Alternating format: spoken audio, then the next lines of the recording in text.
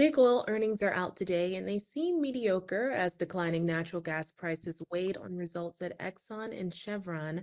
Hi, everyone. I'm Rosemarie Millard, and I am joined here today by David Bahnsen, the Chief Investment Officer of the Bahnsen Group, to get some insight into the results at these two giants. Thank you so much for joining me today, David. Thank you for having me. Definitely. So, David, it looks like Chevron's report is a little better than Exxon's. It beat on the bottom line, but revenue missed and cash from operations came in below expectations. Can you tell us what's going on there? Well, you got to remember that both of these companies are up quite a bit year to date. In particular, Exxon, which is down more today in the aftermath of the news, was up over 20% on the year coming into the announcement. In Chevron's case, there was more good than bad. Their Permian production, in particular, has outperformed expectations, but I think you just have a classic case of expectations being a little ahead of themselves. Natural gas pricing is a little factor, but refinery margins also increased. Ultimately, the biggest metric that matters is upstream production. That's where both of these companies generate over 80% of their earnings from, and on both fronts, those numbers were really quite good. Well, Exxon's results were clearly weaker, with sales and profit missing Wall Street's forecasts. What is the source of the pressure there? So there's sort of two different uh, stories at play. Some of it was just the way in which, when you talk about cash from operations, capex gets measured. Their full year capex, they're still guiding to be the same number, but capex on the quarter came in higher than expected. They're up to 3.8 million barrels per day of production upstream. Uh, but again, there were uh, margin issues that, weighed on, on some of the earnings results. Uh, Exxon's a very complicated company, even more so than Chevron in terms of just the gross level of capital expenditures that go into operating the company. You're talking about 5.8, 5.9 billion dollars in one quarter for Exxon. So there's so many levers in which it could be um, up or down and, and get ahead of itself. We really, as longtime Exxon shareholders who have done extremely well with this company, force ourselves to look further out. Exxon is giving you rolling five-year projections that for from 2023 to 2027, they are anticipating $13 of profit per barrel of oil, and they're anticipating getting to 4.2 million barrels per day at the end of that five-year period. Uh, that's the type of metric we think investors ought to be looking at. Wow. Well, I know these two companies are fighting over who will acquire Hess. Can you tell us more about that? Yeah, I mean, there's no question Chevron's going to acquire Hess, and Exxon, I do not believe, is trying to acquire Hess. They're biting off a very big mouthful with their acquisition of Pioneer, but they do have a joint venture with Hess that they are uh, making some legal noise around uh, uh, first right of refusal clause. It gets very complicated legally. We've done a lot of analysis at my firm to understand it, and we remain of the opinion it's sort of what they call Occam's razor, the most uh, logical, likely scenario here is that Exxon is merely setting things up to try to get some payment or settlement out of it because it does appear legally that Chevron and Hess have the stronger argument. Uh, Exxon has a vulnerability in the Guyana region and some of the political noise, geopolitical noise happening in Venezuela.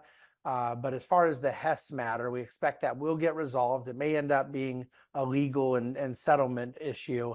But both Exxon's uh, acquisition of Pioneer and Chevron's acquisition of Hess, we think will imminently close.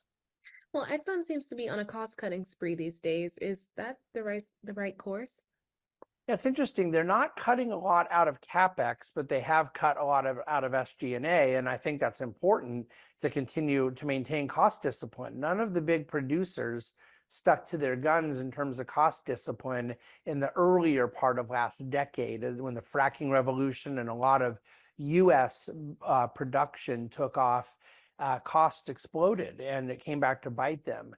They're still investing uh, heavily in capital expenditures, but they're guiding the street with what those numbers will be. And I think that creates a capital discipline because if they get way in front of them, Wall Street will punish them. And uh, really, since the post-COVID moment, their capex has been more contained, but there has been other cost cutting, and we see that as good, prudent management. Well, more broadly, oil prices have been on a tear for the past year, with crude sitting above $80 this month, but natural gas has been plunging. It's down to $1.62 from above uh, $3.50 in November. Why are the prices diverging, and what does that mean for the oil companies? Yeah, and I push back on the idea that oil prices have been on a tear for a year. They were down last year and they were basically flat where they were 12 months ago or so. They've kind of vacillated around the mid 70s.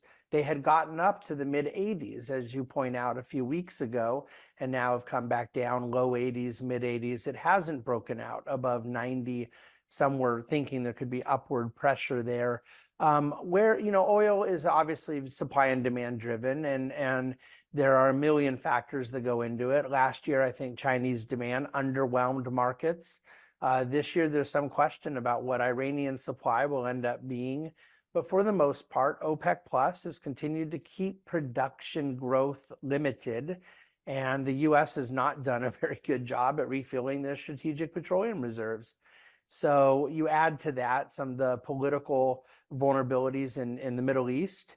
You're ending up right now with low $80 oil. Your question about the divergence from natural gas, it's still answered in the context of supply and demand. Uh, natural gas demand was a little lower than forward expectations, uh, and, and natural gas supply has been quite robust. Uh, so there, there are two just different supply demand economics. Natural gas is primarily used in our country for um, heating where and, and electricity production and oil is primarily used for transportation. And so they just have two different uses. And of course, oil more than natty gas has much more of a global economic uh, dynamic. Well, David, after Chevron and Exxon pump their crude, some of it gets refined into gasoline and other chemicals. It seems like there's significant competition in the petrochemicals market. What effect is that having on the oil companies' results?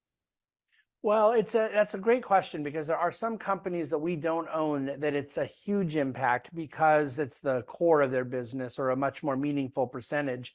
As an integrated company, your Exxon and Chevrons are exposed upstream, midstream, and downstream. And the downstream aspect you ask about uh, has had an impact, but because it's less than 15% of their business, it has less of an impact.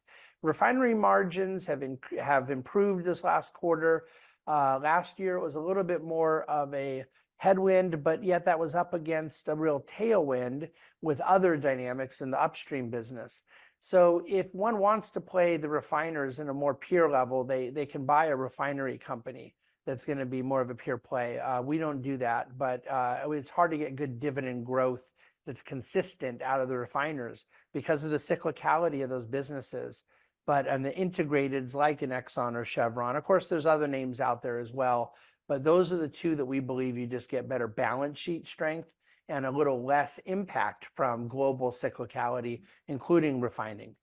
Let's talk about electric vehicles. They seem to be falling out of favor with consumers. Does this mean that gasoline may be in demand for longer than had been expected? And um, how are the major oil companies positioning themselves in terms of adding supply for the coming years?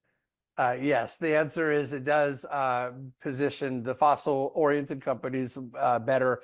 Um, and and I think it is a surprise to some. It's not a surprise to us. It's one of the nicest ways you could put it. It seemed to be falling out of favor. The electric vehicle sector is down 27% per year, three years in a row, if you compound the uh, three-year trailing return. It's an absolute bloodbath. And I believe that the terminal value pricing in so much of the midstream and upstream energy sector in our country that presupposed no use for fossil fuels by 2050 or 2040 or whatever the year was is is a really big miscalculation.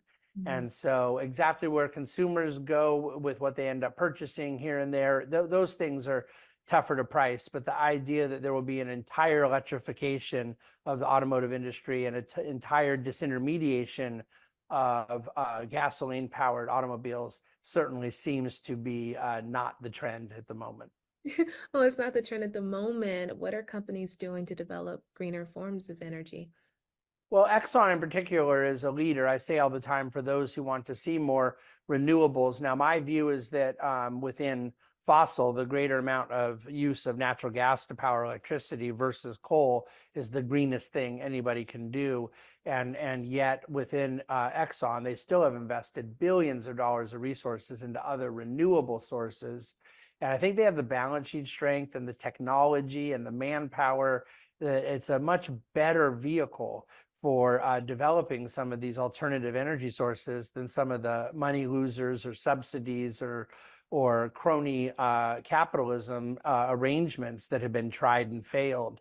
Uh, but really, when you're talking about a, a oil and gas company, their core competency is oil and gas, and I think that nobody could dispute that natural gas has proven to be one of the greenest alternatives to some of the prior sources of power that we've ever seen.